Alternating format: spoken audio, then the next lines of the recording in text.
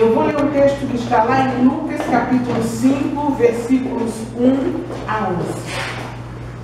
O título dessa mensagem é O Servo de Deus e o Fracasso. E diz assim: Certa vez, quando a multidão apertava Jesus para ouvir a palavra de Deus, ele estava junto ao lago de Genezaré e viu dois barcos juntos a, junto à praia do lago. Mas os pescadores haviam descido deles e estavam lavando as redes. Entrando ele num dos barcos, que era o de Simão, pediu-lhe que o afastasse um pouco da terra. E sentando-se ensinava do barco às multidões. Quando acabou de falar, disse a Simão: Faze-te ao largo e lançai as vossas redes para a pesca. Ao que disse Simão: Mestre, trabalhamos a noite toda e nada apanhamos, mas sobre a tua palavra lançarei as redes. Feito isto, apanharam uma grande quantidade de peixes, de modo que as redes se rompiam. Acenaram então aos companheiros que estavam no outro barco para virem ajudá-los. Eles, pois, vieram e encheram ambos os barcos de maneira tal que quase iam a pique. Vendo isso, Simão Pedro prostrou-se aos pés de Jesus, dizendo: Retira-te de mim, Senhor, porque sou um homem pecador. Pois à vista da pesca que haviam feito, o espanto se apoderara dele e de todos os que com ele estavam, bem como de Tiago e João, filhos de Zebedeu, que eram sócios de Simão. Disse Jesus a Simão: Não temas, de agora em diante serás pescador de homens. E levando eles os barcos para a terra, deixaram tudo e o seguiram. O fracasso, nós acabamos de escutar uma história de um pescador que inicialmente, um não, dois, eles haviam tentado a noite inteira pescar, aquela era a profissão deles e eles fracassaram. O fracasso pode tornar-se um degrau para o sucesso. Esse incidente na vida de Pedro é descrito em Lucas 5 e ele ilustra muito bem essa verdade. Pedro havia pescado com seus amigos a noite inteira. Ele estava cansado e não pegou peixe algum. Quando Jesus chamou a Pedro em Marcos 1, 16 e 17, nós vemos que Jesus caminhava junto ao mar da Galileia e ele viu Pedro lançando a rede ao mar com o seu irmão, porque ambos eram pescadores. Essa era a profissão de Pedro.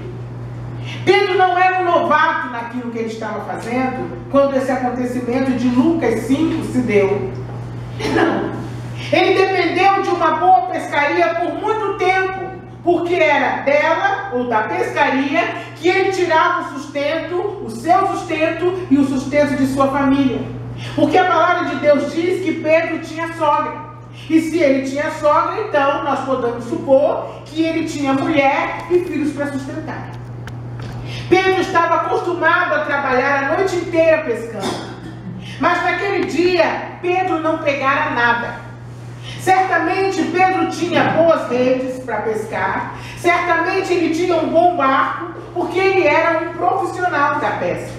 Certamente Pedro também sabia exatamente o lugar e a hora em que poderia pegar mais peixes. Ele estava acostumado. Ele sabia tudo de pescaria, ele era um bom profissional. Mesmo assim, ele trabalhara a noite toda e naquele dia ele voltou de mãos vazias. Há momentos em nossas vidas que, mesmo naquilo que nós fazemos melhor, naquilo que nós achamos que somos bons, muito bons, que temos experiência, que temos mais destreza, mais habilidade, mais confiança, nós falhamos. A Bíblia diz que no dia seguinte os pescadores estavam lavando as redes na praia, muito cansados e desanimados. O versículo 2 diz que Jesus viu os dois lavando as redes. Então ele entrou no barco de Pedro e disse: Pedro, afaste-se da praia. Então Jesus sentou e começou a ensinar a multidão. E Pedro estava ali ouvindo a mensagem de Jesus cansado, desanimado. Depois de uma noite sem dormir, Pedro devia estar escutando de cabeça baixa, porque quem é sanguíneo sabe como é que o sanguíneo lida com o fracasso. Ele se deprime imediatamente. O sanguíneo, diante do fracasso, ele se deprime e se entristece imediatamente. Quando Jesus acabou de pregar, ele disse a um Pedro deprimido, triste e cansado: Vamos pescar. Vamos para as águas mais profundas. Lancem as redes para a pesca. Jesus sabia a resposta de Pedro, porque a Bíblia diz que Jesus viu quando Pedro estava lavando as redes. E Jesus viu também a expressão no rosto e no corpo de Pedro, porque o sanguíneo, ele fala com o corpo inteiro. O sanguíneo fala com o rosto e fala com o corpo inteiro. Quando ele está chateado, todo o corpo dele fala. E ele viu no rosto e no corpo de Pedro que, deve, que deveria ser uma expressão de completo desamparo. Ele havia falhado em fazer aquilo em que ele era um expert. Aquilo que ele fazia melhor. Naquele dia, ele havia falhado. Pedro disse: Mestre, esforçamos-nos a noite inteira e não pegamos nada. Mas porque és tu quem está dizendo, eu vou lançar as redes.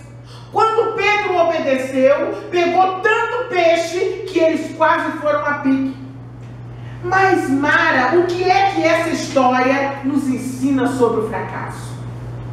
Ela nos ensina que às vezes o nosso melhor não é suficiente. Jesus nunca realizou um milagre sem um propósito. Ele utilizava os milagres para ilustrar princípios. Esse incidente nos revela o que fazer quando o nosso melhor não é suficiente. Quando aparentemente nós estamos diante de uma situação de fracasso, que na verdade não é um fracasso, é um incidente na vida. Há momentos em nossas vidas que damos o melhor de nós e ainda assim ficamos longe do nosso alvo. Não conseguimos aquilo que nós queremos. Estudamos com dedicação para uma prova e não tiramos a nota que esperávamos. Nos dedicamos a uma tarefa, a uma pessoa, a um, emprego e não temos o retorno que nós aguardávamos. Em certas ocasiões, a vida pode ser dura e aí nós ficamos como Pedro, completamente desanimados. Exatamente porque fizemos o que estava ao nosso alcance, mas isso não foi suficiente. Aí pensamos: de que adianta continuar tentando?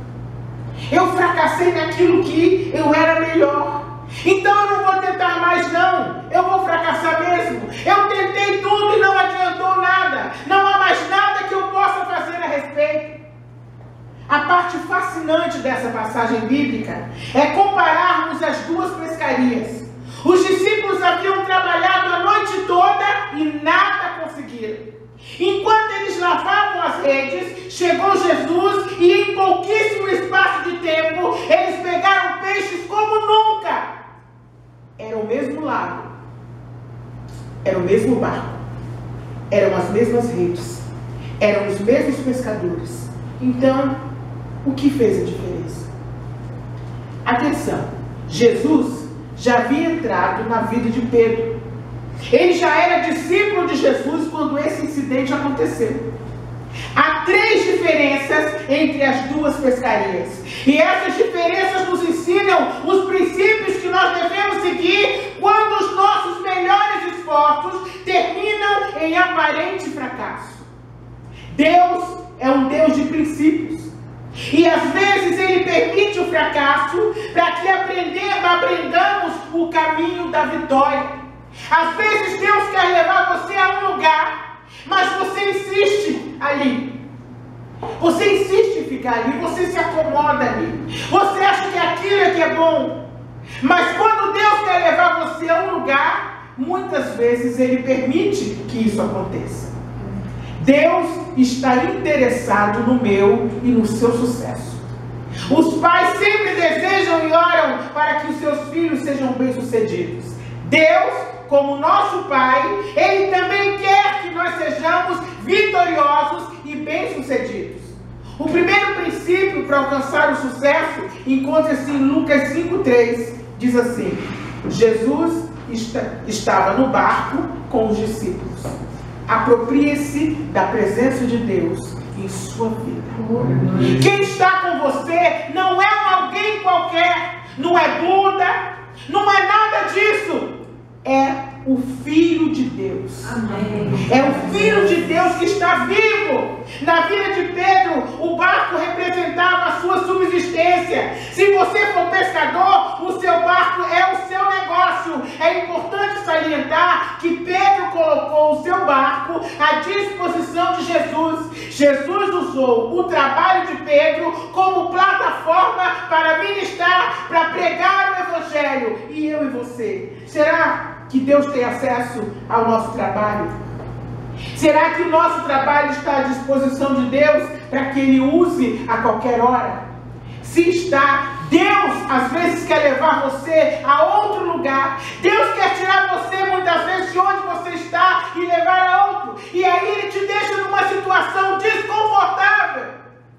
Mas isso não é fracasso, é Deus mostrando para você que há outra coisa além daquela que você está vivendo. A abertura para que Deus ministre as pessoas por meio do seu trabalho. É comum as pessoas tentarem separar a vida cristã das suas carreiras. Mas isso impede que Deus abençoe completamente a sua carreira. Deus vai abençoar tudo o que você entregar a Ele. Tudo. Seus filhos, seu esposo, sua esposa, seu trabalho, sua casa, tudo o que você entregar a Ele, Ele vai abençoar. Tudo o que você disser é seu, Senhor, faça o que quiser, Ele vai abençoar. Se você entregar todas as áreas da sua vida, você vai ser abençoado em todas as áreas da sua vida. Ah, mas eu já estou velho para isso, eu estou novo demais para aquilo. Tudo o que você entregar a Ele, Ele vai abençoar. Quando Jesus está no comando do barco, a sua presença elimina o medo do fracasso. A presença de Jesus reduz a nossa preocupação com os resultados, portanto, reduz o estresse. Quando Pedro permitiu que Jesus fosse seu companheiro na pescaria, os resultados foram incríveis. Ele pegou tantos peixes como nunca havia pescado sozinho. Preste atenção à sequência dos fatos. Primeiro, Pedro usou o seu barco para o propósito de Jesus. Jesus utilizou o barco para alcançar as pessoas. Então, depois que Cristo tinha usado o barco para os seus propósitos, Deus tomou conta das necessidades de Pedro e ele prosperou como nunca. É exatamente o que ele prometeu. Buscai primeiro o meu reino e a minha justiça, e todas as coisas vos serão acrescentadas. O segundo princípio encontra-se em Lucas 5,4, quando os discípulos foram pescar pela segunda vez. Eles pescaram sob a direção de Jesus, seguindo fielmente as instruções de Jesus. Portanto, coopere com o plano de Deus. Antes de fazer algo, pergunte a Ele. Antes de realizar algo, pergunte a Ele. Não apenas devemos nos apropriar da presença dEle em nossas vidas, nós também devemos cooperar com Sua presença em nossas vidas, porque quando Deus está dirigindo as nossas vidas, não há como fracassar. Não há. E Waters afirmou: Deus não patrocina fracassar. O plano de Deus para a sua vida e para a minha vida não é um plano de fracasso, é um plano de vitória. A reação de Pedro à orientação de Jesus foi maravilhosa. Ele não discutiu, ele não disse quem é você para me ensinar como pescar. Ele também não perguntou, é isso mesmo, Senhor. Quantas vezes nós perguntamos, nós sabemos que Deus quer que nós façamos algo, e aí nós perguntamos, é isso mesmo, Senhor. Do ponto de vista humano, não era a hora certa. Do ponto de vista humano, tudo aquilo parecia ridículo. Hora certa de pescar é à noite e não de dia. Mas Pedro obedeceu. Pedro não deu atenção aos seus sentimentos. Apesar de ser sanguíneo, apesar de desanimado, apesar de deprimido, apesar de cansado, ele não disse: o que adianta? Por que continuar? Ele deixou os sentimentos de lado e obedeceu. Essa é a diferença entre o perdedor e o vencedor. O perdedor, diante do fracasso, ele entrega os pontos. Diante do fracasso, ele para com tudo. Diante do fracasso, ele se entrega ao desânimo. O vencedor, diante do fracasso, ele tenta de novo. Ele fala com Deus. Ele obedece à voz de Deus. Ele acredita que Deus não é um Deus de fracasso. Deus é um Deus de vitória. A Bíblia diz que nós somos mais do que vencedores. Amém. Não acredite quando você estiver diante de um suposto fracasso, de um aparente fracasso. Porque você, por que, que você acha que Jesus disse a Pedro: afaste-se um pouco da praia? Porque em águas rasas nós só pegamos peixes pequenos. A maioria das pessoas vive nas águas rasas da vida. Elas vivem apenas na superfície. Suas vidas não têm profundidade, porque elas estão satisfeitas em ficar somente na margem, sem nunca se lançar em águas profundas. E por quê? Porque na água rasa elas se sentem mais seguras. Elas conseguem dominar. Experimente entrar no mar. Você sente, se você passar da água por aqui, você vai ter que ficar nadando. Você não tem como mais como tocar o chão. Você vai ter que confiar em Deus. Em águas profundas, as pessoas têm medo de naufragar. Portanto, muitas pessoas ficam nas águas rasas, pegando os seus peixinhos e achando que é por isso é que é mais seguro. E aí olham as pessoas que pescam coisas grandes, que recebem grandes milagres de Deus. Mas essas pessoas aprendem a mergulhar nas águas profundas. Amém. Mas em Ezequiel 47 nós temos a torrente de águas purificadoras. O rio de Deus não é raso. Nele não se pode atravessar a pé. É preciso passar a nado. Lá em Ezequiel 47, 5 diz assim, versículos 9 a 10. Toda criatura vivente que vive em chames viverá por onde quer que passe esse rio. E haverá muitíssimo peixe. E aonde chegarem estas águas, tornarão saudáveis as do mar, e tudo viverá por onde quer que passe esse rio. Junto a ele se acharão pescadores, desde Engedi ou Jedai até Emeglaim haverá lugar para se estenderem redes. O seu peixe, segundo as suas espécies, será como o peixe do mar grande, em multidão excessiva. Esse é o rio de Deus. Algumas pessoas não querem mergulhar nessas águas por medo de dizerem que elas são fanáticas. Ou então porque temem que Deus peça a elas algo que elas não querem entregar a Deus. Outros dizem, o que meus amigos ou família vão pensar? Por isso as pessoas se satisfazem em viver na superficialidade. Mas na superficialidade, eu e você vamos estar sempre a um passo de desistir. Deus quer entrar em nosso emprego, na nossa família, no nosso casamento, em todas as áreas e fazer as coisas do jeito dele, na nossa vida profissional, de acordo com as ordens dele. Deixe que Deus conduza e coopere com o plano de Deus para a sua vida. O terceiro princípio encontra-se no versículo 5. Diz assim: Porque és tu quem está dizendo isso espere Deus agir. Para superar o fracasso, nós devemos antever as promessas de Deus em nossas vidas. Na segunda tentativa, os discípulos agiram com base na promessa de Deus. Eles foram pescar mais uma vez, porque eles acreditaram que Deus traria os peixes. Jesus disse a Pedro exatamente aonde lançar as redes. Pedro não estava confiado na capacidade dele, pescador. Pedro não estava confiado mais naquilo que ele aprendeu ao longo dos anos. Pedro não estava mais confiado na sua experiência. Portanto, se ele não confiava na sua experiência, ele não tinha medo mais do fracasso. Tememos o fracasso quando confiamos na nossa capacidade. Mas talvez você esteja dizendo, isso parece muito bom, mas você não conhece a minha história ou a minha situação. Nesse momento eu me sinto derrotado ou derrotada pelos problemas que eu estou enfrentando. Eu estou passando por momentos muito difíceis que você nem imagina.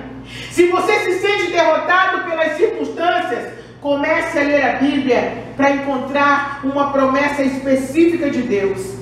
Então comece a reivindicá-la. Espere Deus agir e você vai perceber que a promessa de Deus vai injetar esperança na sua situação que parecia desesperadora. É mais comum do que você imagina que o verdadeiro sucesso comece com um fracasso. Muito mais comum do que nós imaginamos. Veja o resultado no versículo 6. Eles pegaram tal quantidade de peixes que as redes começaram a romper-se, a rasgar-se. Deus abençoou com mais do que aquilo que eles necessitavam. É sempre assim quando nos apropriamos da presença de Deus, quando cooperamos com o seu plano, quando nós conseguimos antever ou crer nas promessas de Deus, eles tiveram que pedir ajuda de outros para que eles não fossem a pique. Esse é o ponto.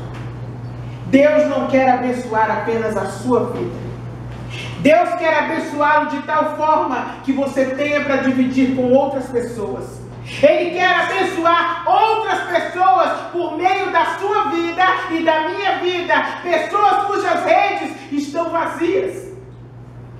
Mas você não vai acabar a sua vida lavando ou consertando redes vazias ou redes velhas. Não tenha medo. A promessa de Deus para a sua vida não é essa. Naquele dia os discípulos descobriram que enquanto eles seguissem a Jesus, as suas necessidades seriam satisfeitas. Por isso, eles desejaram ter um relacionamento com Deus e não apenas receber o milagre de Deus. Amém. Mas como essa história se aplica à minha vida? Muito bonito. A pesca maravilhosa é muito conhecida, mas como é que tudo isso se aplica à minha vida? Talvez você esteja se sentindo como os discípulos antes de Jesus chegar. E talvez você esteja dizendo: trabalhei toda noite, trabalhei toda a vida, tenho trabalhado por tantos anos e eu tenho voltado com a rede vazia. Isso descreve a situação, pode ser do seu casamento, da sua vida profissional, dos seus filhos, do emprego que você ocupa atualmente, da sua situação familiar como um todo, da sua saúde ou de algum outro problema que você esteja enfrentando. Você sente que não teve nenhum progresso ou pouco progresso e por isso já disse para si mesmo: de que adianta? Por que continuar tentando? Para que me esforçar? Talvez você tenha se tornado um cético ou uma cética com relação à vida, mas seja como Pedro. Pedro não foi cético. O fato do seu problema ainda não ter sido resolvido não significa que Deus não tenha uma solução para ele. Devido ao fracasso, geralmente aprendemos lições que nos ajudam a alcançar o sucesso. Continue. A mensagem de Deus para você hoje é essa. Tente mais, continue, persevere. Jesus está no barco. Ele vai fazer a diferença na sua vida. Não desista. E então, o amor de Deus por você vai te constranger. Quando Deus fizer na sua vida aquilo que hoje você acha impossível.